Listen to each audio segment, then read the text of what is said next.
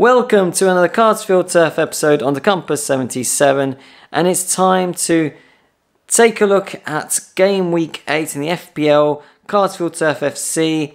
How did our team do?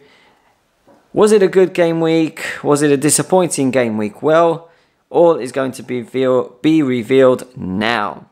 So, first we start with Mathew Ryan, 7 points. Alexander Arnold, 3 points.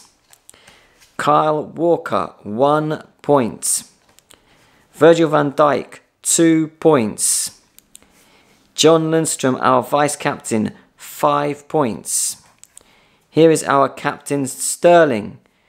He was our captain, two points, double that, got four points. Here we have Son, Heung-min Son, two points. Daniel James of Manchester United, two points. Callum Wilson, Bournemouth, two points. Tammy Abraham, eight points. Aubameyang, two points. That's all our players from the starting 11. Dendoncker on the bench got three points. McCarthy got two points.